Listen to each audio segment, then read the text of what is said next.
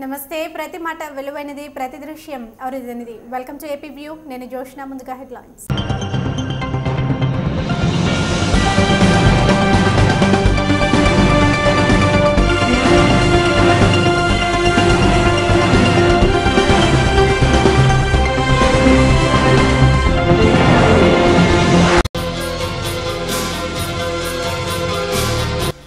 టీడీపీలో కొనసాగుతున్న వలసల పరంపర. పార్టీ తీర్థం పుచ్చుకున్న ఎలమంచిలి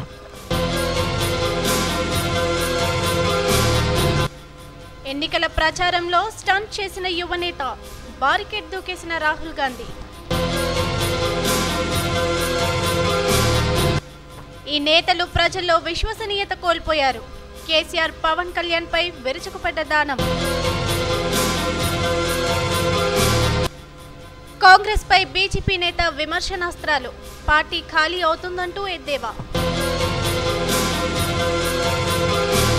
బీజేపీ అగ్రనేత వెంకయ్యనాయుడు కాంగ్రెస్ పార్టీపై విమర్శనాస్త్రాలు గుప్పించారు. కాంగ్రెస్ హయాంలో భూమి నుండి ఆకాశం వరకు అన్ని కుంభకోణాలే అని ఆరోపించారు. ప్రస్తుత పరిస్థితుల్లో కాంగ్రెస్ పార్టీ ఖాళీ అవుతుందని కాంగ్రెస్ నేతలు చేర్చుకుంటే ఇతర పార్టీలకు ప్రమాదం ఉందని అభిప్రాయపడ్డారు. ఏదేమైనా ప్రాంతీయ పార్టీలు దేశాన్ని పాలించలేవని సూత్రీకరించారు వెంకయ్య. ఆంధ్రలో ఒక కేంద్ర విశ్వవిద్యాలయం రాయలసీమలో కేంద్ర విశ్వవిద్యాలయం పెట్టాలని ప్రభుత్వం ఒత్తిడి కావడం జరిగింది. దాంతో పాటు రాయలసీమ ఉత్తరాంధ్ర బాగా వెనకబడి ఉన్నాయి బాగా వెనకబడి ఉన్నాయి తెలంగాణతో సమానంగా. ఆ ప్రాంతాల్లో పరిశ్రమలు పెట్టే వాళ్ళకు రాయితీ వారిని హిమాచల్ ప్రదేశ్ ఉత్తరాంచల్ రాష్ట్రాలతో సమానంగా రాయితీ వారు కూడా ప్రభుత్వంపై ఒత్తిడి కావడం జరిగింది. ఇవన్నీ ఒక ఎత్తైతే ఈ సీమాంధ్ర ప్రాంతానికి ప్రత్యేక రాష్ట్ర హోదా. ఏది మామూలు విషయం కాదు. ఈ ప్రత్యేక హోదా కోసం బీజేపీ పట్టుబట్టింది సాధించింది. ప్రధానమంత్రి ప్రకటన చేశాడు ఐదేళ్ళని. ఐదేళ్ళలో అన్ని పనులు పూర్తిగా నాకు తెలుసు. కానీ నేను మీకు హామీ ఇస్తున్నా. బీజేపీ వస్తే నరేంద్ర మోడీ ప్రధానమంత్రి అయితే ఈ ఐదేళ్ళు కాస్త పదేళ్ళకు పెంచబడుతుంది. మన ప్రాంతానికి అభివృద్ధి సర్వతోముఖంగా జరుగుతుంది. ఈ ప్రాంతంలో యువకులకు ఉద్యోగ అవకాశాలు దొరుకుతాయని చెప్పని మీ అందరికీ కూడా మనం చెప్తున్నాను. మన రాష్ట్రం సురక్షంగా ఉండాలంటే ఈ ప్రత్యేక హోదా పదేళ్ళ పాటు ఉండాలి. పోలవరం జాతీయ ప్రాజెక్టుగా చేపట్టి దాని అడ్డంకులను తొలగించుకొని ముందుకు వెళ్ళాల్సిన అవసరం ఉంది. మీకు భారతీయ జనతా పార్టీ మాటిస్తుంది బీజేపీ కేంద్రంలో అధికారంలోకి వస్తే పోలవరానికి ఉన్న అన్ని రకాల అడ్డంకులు తొలగిస్తాము. ఎవరి బెదిరింపులు కూడా భయపడే ప్రసక్తి లేదని చెప్పిన సందర్భంగా మీ అందరికీ భారతీయ జనతా పార్టీ మాట కోసం నిలబడుతుంది.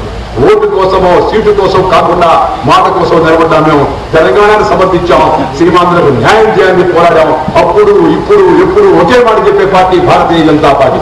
ఈ కాంగ్రెస్ నాయకుడు ఈ ఇతర పార్టీ నాయకుడు తెలంగాణకి జై తెలంగాణ అంటారు ఆంధ్రకు వచ్చి జై సమాఖ్యాంధ్ర అంటారు. ఎంత సాధ్యం అవుతుందయ్యా ఇక్కడ ఒక మాట అక్కడ ఒక మాట. పార్టీ ఏమో ఒకటి ప్రధానమంత్రి ఏమో ప్రపోజ్ చేస్తాడు ముఖ్యమంత్రి ఏమో అపోజ్ చేస్తాడు సోనియా గాంధీ ప్రపోజ్ చేస్తుంది బొత్సా సత్యనారాయణ డిస్పోజ్ చేస్తాడు. వాటికి సమాచారం చెప్పి అడుగుతున్నాను ఇది రాజకీయ పార్టీనా కాంగ్రెస్ ఒక పార్టీయా దానికి ఒక నీతి ఉందా? ఒక సిద్ధాంతం ఉందా? ఒక కార్యక్రమం ఉందా? ఈ కాంగ్రెస్ నాయకులు దీనికి ఏ సమాధానం చెప్తారో చెప్పమని కోరుతున్నాను కాంగ్రెస్ పార్టీ తగిన హోంవర్క్ చేయలేదు. ఈ బిల్లును అధ్యయనం కూడా చేయలేదు.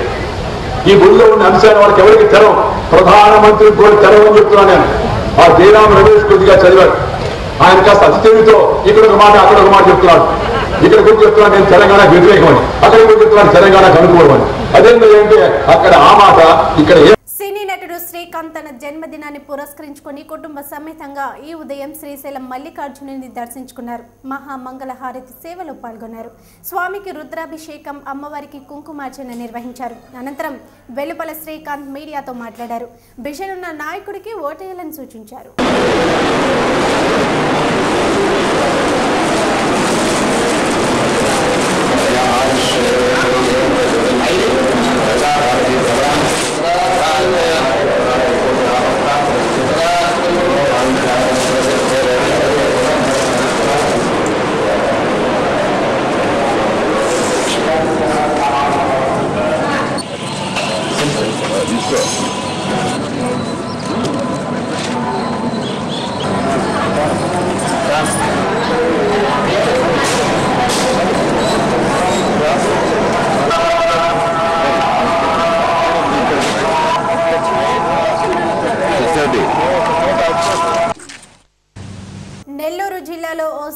చెలరేగిపోయాడు. ఓ ఇంట్లోకి దూరి తలుపులు పగలగొట్టి సామాన్లన్నీ చిందరవందర చేశారు. పైగా ఓ కానిస్టేబుల్ పై తిరగబడి దాడి చేశారు. ఉన్మాది వీరంగం చూసి స్థానికులు భయపడిపోయారు. చిల్లకూరులోని శంకర్ గిరిజన కాలనీలో ఓ ఉన్మాది శనివారం రాత్రి వీరంగం సృష్టించాడు. భయభ్రాంతులకు గురైన స్థానికులు అతన్ని ఓ ఇంట్లో నిర్బంధించారు. విషయాన్ని పోలీసులకు తెలియజేశారు అక్కడికి చేరుకున్న ఏఎస్ఐ సుబ్బారావు సిబ్బంది అతన్ని అదుపులోకి తీసుకునే ప్రయత్నం చేశారు. అంతలోని ఇంట్లో ఉన్న ఉన్మాది చెక్క తలుపు సందులో నుంచి ఇనుప చూపుతో పొడిచాడు. ఆ సమయంలో బయట ఉన్న ఏఎస్ఐ సుబ్బారావు కంటి భాగంలో తగిలి గాయాలయ్యాయి. వెంటనే ఆయనను చికిత్స నిమిత్తం గూడూరులోని ప్రాంతీయ వైద్యశాలకు తరలించారు. ఉన్మాది ఒడిశా ప్రాంతానికి చెందినవాడుగా భావిస్తున్నారు. హిందీ ఒరియా భాషలో మాట్లాడుతున్నట్లు స్థానికులు తెలిపారు.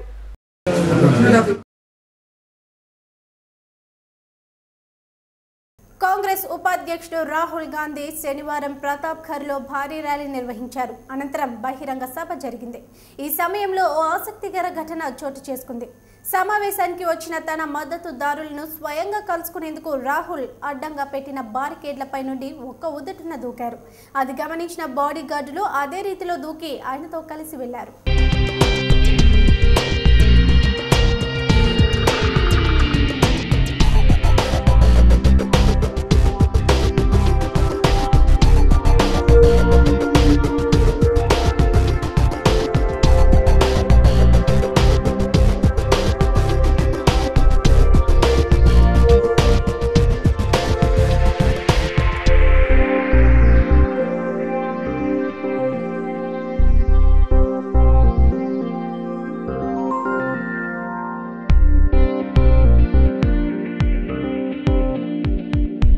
తెలుగుదేశం పార్టీని వీడుతున్నారంటూ తనకు వ్యతిరేకంగా కొందరు దుష్ప్రచారం చేస్తున్నారని మహబూబ్ నగర్ జిల్లా అచ్చంపేట ఎమ్మెల్యే పి. రాములు అన్నారు. బడుగు బలహీన వర్గాల వారి ఆత్మస్థైర్యాన్ని దెబ్బతీసే లక్ష్యంతోనే ఇలా చేస్తున్నారని మండిపడ్డారు. ఇలా దుష్ప్రచారం చేస్తున్న వారిపై చట్టపరమైన చర్యలు తీసుకుంటామని హెచ్చరించారు. అని పేపర్లో రావడం జరిగింది. ఇది చాలా దురదృష్టం. రాజకీయాల్లో నైతిక విలువలతో గత ఇరవై సంవత్సరాలుగా తెలుగుదేశం పార్టీలో శాసనసభ్యునిగా మంత్రిగా అచ్చంపేట నియోజకవర్గ ప్రదర్శించినటువంటి అవకాశాన్ని సద్వినియోగం చేసుకుంటూ మా పార్టీ అధినేత నారా చంద్రబాబు నాయుడు గారి యొక్క ఆశీస్సులతో రైతు కూలి కుటుంబంలో పుట్టి ఈరోజు రాష్ట్ర స్థాయిలో రావడం కొన్ని శక్తులు దిగించుకోకుండా ఈ విధంగా అసత్య ప్రచారాలు గ్లోబల్ ప్రచారాలు చేయడం దీన్ని నేను తీవ్రంగా ఖండిస్తున్నా.